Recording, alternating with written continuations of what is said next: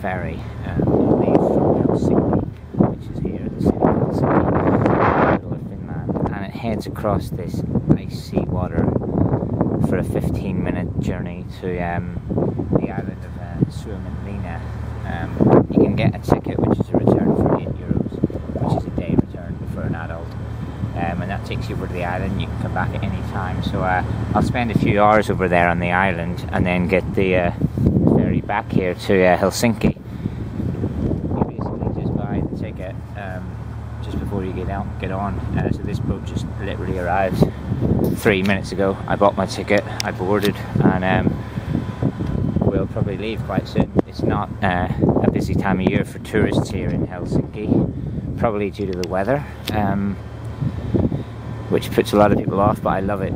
It's an incredible place, and uh, yeah, touring uh, the fortress of uh, Suomenlinna, which is also, of course, um, a World Heritage Site.